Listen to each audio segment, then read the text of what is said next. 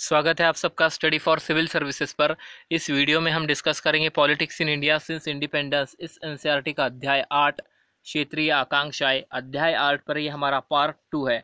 Part first में हमने चर्चा की थी जम्मू कश्मीर के सिचुएशन के बारे में। पार्ट टू में हम डिस्कस करने वाले हैं दोस्तों पंजाब के बारे में। तो चलिए इसे स्टार्ट करते हैं।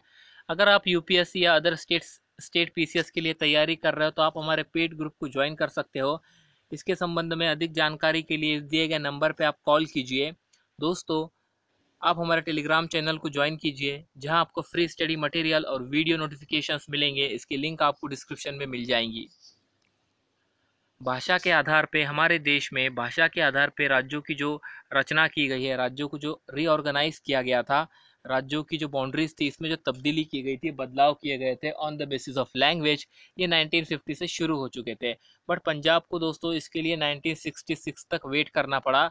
1966 में पंजाबी स्पीकिंग स्टेट्स को क्रिएट किया गया।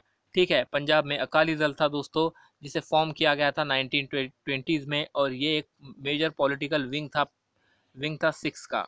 ठीक है had lead the movement for the formation of Punjab Suba और पंजाब सूबे के फॉर्मेशन के लिए अकाली दल ने ही मूवमेंट को लीड किया था। अकाली दल ने ही आंदोलन किया था और इस आंदोलन के जो लीडर थे, ये अकाली दल से थे। राइट तो इस स्लाइड में हमने क्या देखा? इस स्लाइड में हमने देखा दोस्तों कि पंजाब को 1996 में क्रिएट किया जाता है। मतलब क्रिएट किया जाता है पंजाबी स्पीकिंग स्टेट्स भाषा के आधार पे। दूसरे, दूसरी जगहों पे, हमारे देश में 1950 से इसकी शुरुआत हो चुकी थी। पंजाब में अकाली दल था जो 1920 में बनता है, और अकाली दल ने ही इस मूवमेंट को लीड किया था, जिस मूवमेंट के तहत पंजाबी सूबा बनाया गया। जिस मूवमेंट के तहत पंजाबी सूबा बनाया गया। चलिए आगे चलते हैं। अब उस समय के पॉलिटिकल कॉन्टेक्स्ट को समझते हैं। देखिए दोस्तों, स्टेट्स के रीऑर्गेनाइजेशन होने के बाद अकाली अकाली दल दो बार पावर में आता है। 1967 में और 1977 में। 1967 में और 1977 में अकाली दल दो बार दोस्तों सत्ता में आता है। दोनों ही बार on the both occasion it was a coalition government दोनों ही बार दोस्तों ये सत्ता में तो आते हैं बट इनकी मेजोरिटी गवर्नमेंट नहीं होती है, ये इन्हें कोलिएशन करना पड़ता है। Akali discover that despite the redrawing of the boundaries their political position remain precarious देखिए दोस्तों अब बाउंड्रीज को तो रीऑर्गेनाइज कर दिया गया था बट बाउंड्रीज के रीऑर्गेनाइजेशन होने के बाद भी अकाली दल को एक बात समझ में आती है कि दोस्तों ऐसा तो कर दिया गया है, पंजाबी स्पीकिंग स्टेट तो बन गया है बट इनकी पोजीशन इतनी स्ट्रांग नहीं है पंजाब में। इसके पीछे रीजंस यहाँ पे दिए गए हैं दोस्तों। इनकी गवर्नमेंट डिसमिस कर दी गई थी सेंटर के द्वारा। ठीक ठीक है। They did not enjoy strong support from among the Hindus Hindus इन्हें स्ट्रॉन्ग सपोर्ट नहीं करते थे, हिंदूज में इतने पॉपुलर्स नहीं थे सिख कम्युनिटी सिख कम्युनिटी भी में भी दोस्तों रिलीजियस कम्युनिटीज़ थी। सिख कम्युनिटीज़ में भी रिलीजियस कम्युनिटीज़ एग्जिस्ट करती थी और इनके बीच में भी डिफरेंसेस थे, जैसे कि on the basis of caste और on the basis of class line right Congress को ज़्यादा सपोर्ट मिलता था दोस्तों, पंजाब में दलित, हिंदू सिख्स इनकी ओर से एज़ कंपेयर टू अकालीज। मतलब अकालीज को इतना सपोर्ट नहीं मिला जितना सपोर्ट पंजाब जितना सपोर्ट कांग्रेस को मिलने लगा दलित, हिंदूज और सिख्स की ओर से। ठीक है? तो ये वहाँ की पॉलिटिकल सिचुएशंस थी। एक बार फिर से देखते हैं, इस स्लाइड में हमने क्या देखा? इस स्लाइड में हम पॉलिटिकल कॉन्टेक्स्ट के बारे में बात कर रहे हैं। प्रीवियस स्लाइड में हमने देखा था कि स्टेट को रीऑर्गेनाइज कर लिया गया था 1966 में। स्टेट 1966 में रीऑर्गेनाइज होता है on the basis of language 1920 में दोस्तों अकाली दल का यहाँ पे फॉर्मेशन हुआ था और अकाली दल ने ही एक मेजर मूवमेंट इस मेजर मूवमेंट को लीड किया था, जिस मूवमेंट के तहत रिज़ल्ट देखने को मिलता है 1966 में। पंजाबी स्पीकिंग स्टेट बनता है, पंजाबी सूबा बनता है राइट पॉलिटिकल कॉन्टेक्स्ट में अगर हम चर्चा करें तो हमें यह देखने को मिलता है कि रीऑर्गेनाइजेशन होने के बाद जो अकालीज है ये दो बार सत्ता में आते हैं 1967 में और 1977 में। दोनों ही बार इन्हें दोस्तों पूरी तरह से मेजोरिटी नहीं मिलती है और इन्हें गठबंधन की सरकार कोलिएशन की सरकार चलानी पड़ती है। ओके अकालियों को ये भी समझ में आता है दोस्तों अकालीस को ये भी समझ में आता है कि स्टेट की बाउंड्रीज तो अब बदल दी गई है। इसके बावजूद भी उनकी जो पॉलिटिकल पोजीशन है, इतनी स्ट्रांग नहीं है। गवर्नमेंट को डिसमिस किया जाता है सेंटर के द्वारा। ये पूरे तरह से सपोर्ट भी इंजॉय नहीं करते दोस्तों हिंदूज़ के बीच में। मतलब हिंदूज़ का कम्युनिटी जो पंजाब में रहती थी, ये अकालीस को सपोर्ट नहीं करती थी। सिख कम्युनिटी में भी दोस्तों रिलीजियस कम्युनिटीज़ हुआ करती थी और इसमें भी डिफरेंसेस देखने को मिलते थे on the basis of caste और on the basis of class के लाइन पे। सिख्स हिंदूज और दलित ये ज़्यादा सपोर्ट करते थे कांग्रेस को एज़ कंपेयर टू अकालीस ऐसा अनुभव अकालीस को आ रहा था। ये ये चीज़ें इन्हें समझ में आ रही थी कि स्टेट के रीऑर्गेनाइजेशन करने के बाद भी इनकी पोजीशन पंजाब में उतनी स्ट्रांग नहीं है, उतनी मज़बूत नहीं है। 1970s में दोस्तों अकालीस का एक सेक्शन एक एक ऐसी डिमांड करने लगा जो कि एक पॉलिटिकल डिमांड जो कि पॉलिटिकल ऑटोनॉमी की डिमांड थी पंजाब रीजन के लिए। पंजाब रीजन को पॉलिटिकल ऑटोनॉमी दी जाए, ऐसी डिमांड 1970s से एक सेक्शन करने लगा था। ये सेक्शन भी अकाली में अकाली में से ही था। और ये इनके रिजोल्यूशन में दोस्तों रिफ्लेक्ट होता है। ये इनके रिजोल्यूशन में रिफ्लेक्ट होता है, जिसे पास भी किया गया था। और इसे अनंतपुर साहिब में जो कॉन्फ्रेंस हुआ था 1973 में, वहाँ इसे पास किया गया था। अनंतपुर साहिब रिजोल्यूशन जो था दोस्तों, ये ये बात करता है रीजनल ऑटोनॉमी की। और ये बात करता है कि इन्हें रीजनल ऑटोनॉमी मिलनी चाहिए। और सेंटर स्टेट्स की रिलेशनशिप को देश में फिर से रीडिफाइन करना चाहिए ठीक है? रिजोल्यूशन इस इस चीज़ पे भी बात करता है दोस्तों की, कि जो एस्पिरेशन है सिख कौम की community or nation Sikh qaum and declare its goal as attaining the bolbala dominance or hegemony of the Sikhs ठीक है? तो इन, इन इस रेजोल्यूशन में बात की गई थी दोस्तों कि सिख कौम की एस्पिरेशन है कि वो बोल बाला को अचीव करना चाहती है। मतलब एक तरीके से हेगेमोनी को अचीव करना चाहती है डोमिनेंस बनाना चाहती है अपना पंजाब में। The resolution was plea for strengthening the federalism resolution में दोस्तों फेडरलिज्म को स्ट्रेंथ करने की बात भी कही गई थी but it could also be interpreted as plea for separate Sikh nation but देखिए दोस्तों, इस चीज़ को separate Sikhs nation Sikh nation के रूप में ही ज़्यादा देखा गया। ओके अब अकाली गवर्नमेंट को डिसमिस किया गया 1980s में। 1980s में गवर्नमेंट को डिसमिस करने के बाद दोस्तों इनके ओर से एक मूवमेंट लॉन्च किया गया और ये मूवमेंट था एक क्वेश्चन के ऊपर बिकॉज़ उस समय एक क्वेश्चन पंजाब में चल रहा था और ये था वाटर डिस्ट्रीब्यूशन के ऊपर। ठीक है, जो पंजाब और उसके जो नेबरिंग स्टेट्स हैं, इनके बीच में वाटर वाटर डिस्ट्रीब्यूशन को लेकर एक डिस्प्यूट था। और दोस्तों इसी इसी का पॉलिटिकल इशू बनाया गया और एक तरीके से कहा जाए तो इस क्वेश्चन को लीड किया इस, मूवमेंट को लीड किया अकाली दल ने। A section of the religious leader raise the question of autonomous autonomous Sikh identity जो रिलीजियस लीडर्स थे इन रिलीजियस लीडर्स ने एक फिर से क्वेश्चन यहाँ पर लेकर ये आए कि एक तरह से हमें ऑटोनोमस सिख आइडेंटिटी चाहिए मतलब खुद को ऑटोनॉमी मिलनी चाहिए सिख आइडेंटिटी के बेस पे। The more extreme element started advocating secession from India and the creation of Khalistan आप देखिए दोस्तों, इसमें जो मोर एक्सट्रीमिस्ट एलिमेंट थे, इन्होंने पैरवी करने शुरुआत मतलब इन्होंने पैरवी करना स्टार्ट कर दिया सेसेशन की। सेसेशन का अर्थ होता है अलग होना आई थिंक कि हम इंडियन यूनियन से अलग होते हैं और एक नए राष्ट्र को बनाते हैं, एक नए देश को बनाते हैं, जहाँ सिर्फ़ पंजाबीज होंगे और ये देश होगा दोस्तों खालिस्तान। आपने खालिस्तान के बारे में तो सुना ही होगा। अब वायलेंस भी होना यहाँ पे शुरू हो जाता है पंजाब स्टेट में। वायलेंस कैसे मतलब वायलेंस पंजाब में होता है दोस्तों और जो लीडरशिप होती है इस मूवमेंट की, ये लीडरशिप मॉडरेट लीडर से ट्रांसफ़र होती है एक्सट्रीमिस्ट लीडर्स की ओर एक्सट्रीमिस्ट एलिमेंट्स की ओर, और जिससे आर्म इंसर्जेंसी इसमें आ जाती है। जो मिलिटेंट होते हैं दोस्तों, ये अपना हेडक्वार्टर बनाते हैं। सिख धर्म का जो होली श्राइन है गोल्डन टेंपल जो कि अमृतसर में है, इस जगह को, इस पवित्र जगह को ये मिलिटेंट अपना हेडक्वार्टर के रूप में इस्तेमाल करते हैं, ठीक है? और दोस्तों, इस वजह से क्या होता है, एक तरीके से आर्म ट्रेस शुरू हो जाता है। जून 1984 में, ये डेट याद रखना, जून 1984 में Indian government Operation Blue Star इस कोर्ट नेम से आर्मी एक्शन का आर्मी एक्शन करती है गोल्डन टेंपल पर। ऑपरेशन का कोड नेम था ऑपरेशन ब्लू स्टार राइट और गोल्डन टेंपल पे इसके तहत आर्मी एक्शन की कार्रवाई की गई थी। इस आर्मी ऑपरेशन में क्या हुआ दोस्तों? गवर्नमेंट तो सक्सेसफुल रही मिलिटेंट्स को वहाँ से बाहर निकालने में, बट इस आर्मी ऑपरेशन में जो हिस्टोरिक टेंपल है, इसे इसे डैमेज हुआ और टेंपल डैमेज होने की वजह से सिख कम्युनिटीज़ के जो सेंटिमेंट है, ये आहत हुए।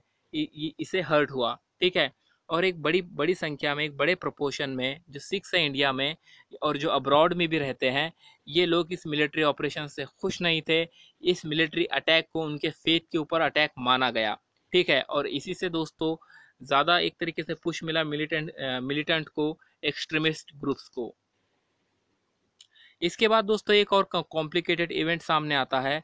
Still more tragic turn of event complicated the Punjab problem further और इससे ये जो पंजाब की सिचुएशन थी, ये और ख़राब हो जाती है और ये प्रॉब्लम कॉम्प्लिकेटेड हो जाती है। ऑपरेशन ब्लू स्टार का दोस्तों, दो लोगों के द्वारा रिवेंज लिया जाता है और ये रिवेंज लिया जाता है भारत की, उस समय के प्राइम मिनिस्टर्स की प्राइम मिनिस्टर की हत्या कर कर। इकतीस अक्टूबर 1984 की ये बात है। जब प्राइम मिनिस्टर इंदिरा गांधी जी का असासिनेशन हुआ था दोस्तों, और ये असासिनेशन वो जहाँ रहती थी वही हुआ था, और इनके ही बॉडीगार्ड के द्वारा किया गया था। बिकॉज़ ये दोनों बॉडीगार्ड सिक्स सिक्स धर, सिख धर्म थे सिक्स थे। और दोस्तों, इन्होंने ये कहा था कि ये ऑपरेशन ब्लू स्टार का एक तरह से रिवेंज इनके द्वारा लिया गया है। तो ये इवेंट हमें देखने को मिलता है इसके बाद ऑपरेशन ब्लू स्टार के बाद, जिसमें इंदिरा गांधी जी का असासिनेशन किया जाता है।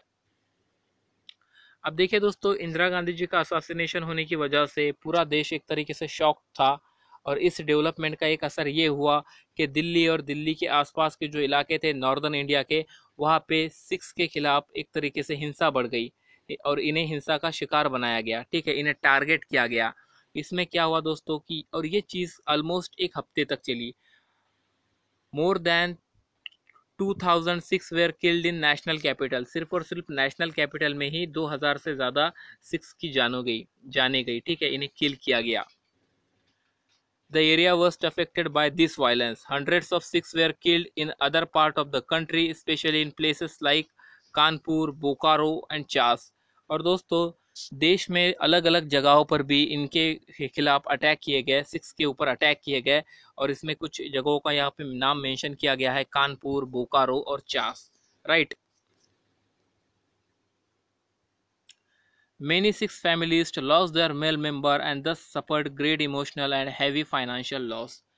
Sikhs families के दोस्तों जो मेल मेंबर्स थे तो काफ़ी सिक्स फैमिलीज़ ने अपने मेल मेंबर्स को इस दंगों में 1984 के जो दंगे हुए थे दोस्तों, सिख दंगे के नाम से ये जाने जाते हैं, इसमें अपने लोगों को खो दिया था, जो इनके लिए एक तरीके से emotional as well as financial loss भी था। Right what hurt the Sikh most was the government took a long time in restoring normalcy देखिए दोस्तों, एक और बात यहाँ पे सिक्स को हर्ट कर जाती है जो कि हमारे गवर्नमेंट का रिस्पांस है, ये जो दंग, ये जो दंगे हो रहे थे इन दंगों के प्रति, और देखिए गवर्नमेंट ने स्लो रिस्पांस किया, ऐसा ऐसा गवर्नमेंट पे आरोप भी लगता है, बिकॉज़ गवर्नमेंट जितने जल्दी से जल्दी इन चीज़ों को कवर कर सकती थी, उतनी जल्दी से जल्दी गवर्नमेंट की ओर से इससे इससे लड़ा नहीं गया, इसे रोका नहीं गया एक्चुअली, लॉ एंड ऑर्डर को मेंटेन नहीं किया गया, इस वजह से भी कम्युनिटी में नाराज़गी थी।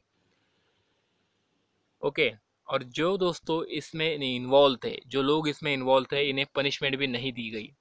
देखिए, अभी भी ये केस चल रहे हैं और आई थिंक अभी पिछले दिनों एक नेता को, एक कांग्रेस के नेता को इसमें पनिशमेंट दी गई है। 20 साल के बाद, इस घटना के 20 साल के बाद पार्लियामेंट में 2005 की ये बात है, उस समय के प्राइम मिनिस्टर मनमोहन सिंह जी ने रिग्रेट रिग्रेट एक्सप्रेस किया था इस किलिंग्स के प्रति।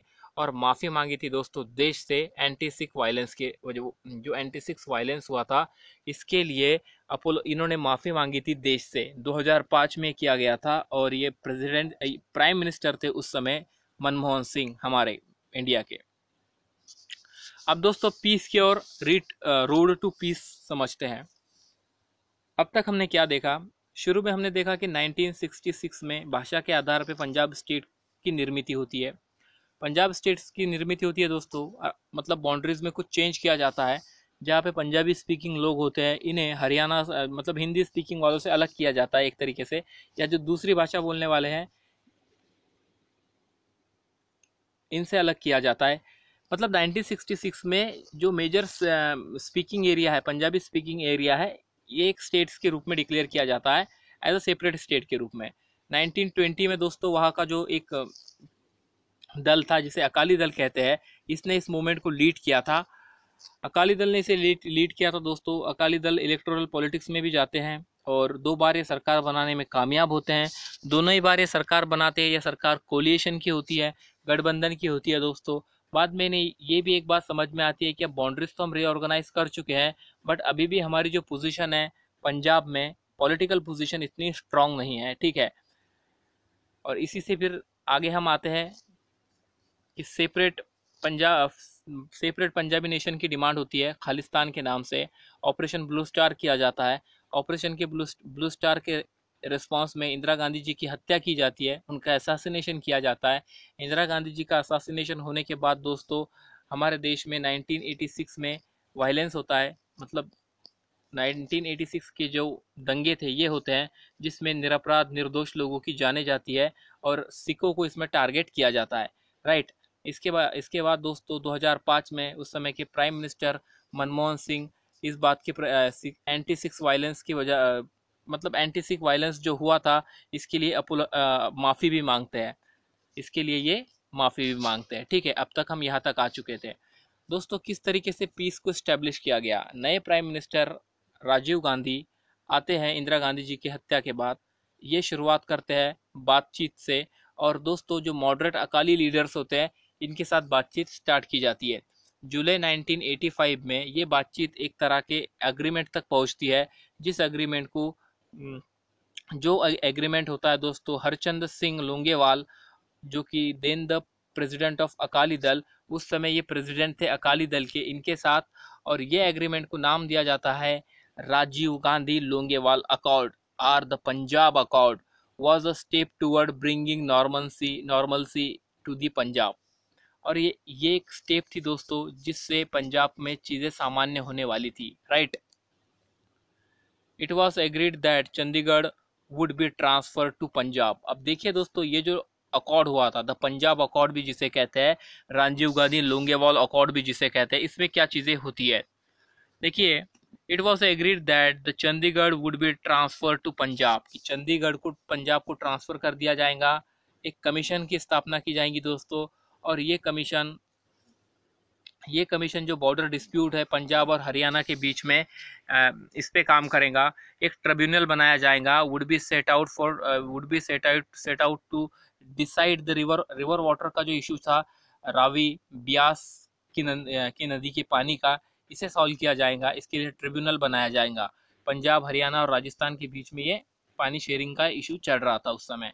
The agreement also provided for a, a compensation to and better better treatment of those who affected by the militancy in Punjab.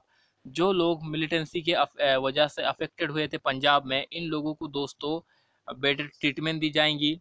ठीक है?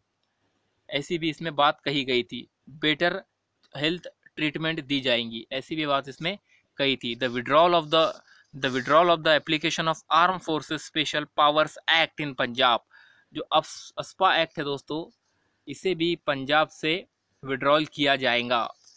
ऐसी भी बात कही गई थी द पंजाब अकॉर्ड में। अब हम यहाँ पर देख सकते हैं, हम बात कर रहे हैं कि पीस इस्टेब्लिश करने की कोशिश की जा रही थी राजीव गांधी जी के द्वारा और इसी से इसी का एक स्टेप था कि राजीव गांधी जी और लोंगेवाल साहब इनके बीच में अकॉर्ड होता है, एक समझौता होता है। ओके, बट दोस्तों पीस को इस्टेब्लिश करना इतना आसान नहीं था। ये जो वायलेंस की साइकिल थी, ये एक डेकेड तक चलती रही, ठीक है? मिलिटेंसी और काउंटर इंसर्जेंसी जैसी घटनाएँ वहाँ पे घटती रही। अब पुलिस और वायलेशन ऑफ़ ह्यूमन राइट ये सब चीज़ें भी सामने आती रही, ठीक है? बट दोस्तों, इसके, इससे क्या होता है बाद में? अकाली दल एक तरह एक तरह से फ्रेगमेंटेशन का शिकार होता है। इसमें भी एकता नहीं रहती। और जो सेंट्रल गवर्नमेंट होती है दोस्तों, ये यहाँ पर प्रेसिडेंट रूल को इम्पोज करती है। Politically it lead fragmentation of the Akali Dal politically दोस्तों अकाली दल का फ्रेगमेंटेशन होता है और सेंट्रल गवर्नमेंट के द्वारा यहाँ पे प्रेसिडेंट रूल को इम्पोज किया जाता है। In the state and the normal electoral and political process were suspended तो स्टेट में दोस्तों नॉर्मल इलेक्टोरल और पॉलिटिकल प्रोसेसेस को सस्पेंड किया जाता है। It was not easy to restore the political processes in the atmosphere of suspension and violence देखिए दोस्तों सस्पेंशन का एटमॉस्फेयर है, शक का माहौल है, हिंसा का माहौल है, ऐसे में हम पॉलिटिकल प्रोसेसेस को पॉलिटिकल प्रोसेसेस को इस्टेब्लिश नहीं कर सकते राइट इलेक्शंस कंडक्ट नहीं करा सकते। When election were held in Punjab in 1992 but 1992 में पंजाब में इलेक्शन होते हैं और इस इलेक्शन में ओनली 24 परसेंट जो इलेक्टोर्स होते हैं दोस्तों, ये वोट डालने के लिए बाहर आते हैं। देखिए militancy was eventually eradicated by the security forces security forces ने एक तरह से मिलिटेंसी को इरेडिकेट करने का काम किया है but the loss losses incurred by the people of Punjab Sikhs and Hindus like were enormous but जो नुकसान हुआ है दोस्तों, पंजाबी लोगों का, सिख, पंजाब का सिक्स और, सिख और हिंदू लोगों का ये इनॉर्मस था। पीस वापस आता है पंजाब में 1990 के समय में और एक अलायंस अकाली दल का बदल और बीजेपी का दोस्तों, ये एक मेजर विक्ट्री स्कोर करता है 1997 के इलेक्शन में और पहली बार in the first in the first normal election in the state in the post militancy era पहली बार एक नॉर्मल इलेक्शन होता है दोस्तों पोस्ट मिलिटेंसी इरा के बाद इरा के बाद। The state is one once again preoccupied with the question of economic development and social change through religious identity continue to be important for the people. देखिए दोस्तों, एक तरह से रिलीजियस आइडेंटिटीज लोगों के लिए अपना इम्पोर्टेंस बनाए रखी हुई है आज के डेट में भी। Politics has gradually move back along along secular lines but politics एक तरह से देखें तो धीरे धीरे सेकुलर लाइंस पर वापस आ रहा है। दोस्तों स्टडी फॉर सिविल सर्विसेज़ पर आपने ये वीडियो देखा, और आप हमारे पेड कोर्स को ज्वाइन कर सकते हो। पेड कोर्स से संबंधित किसी भी तरह की जानकारी आपको चाहिए तो इस नंबर पर आप कॉल कर सकते हो। ठीक है। हम मिलते हैं अगले लेसन में। बाय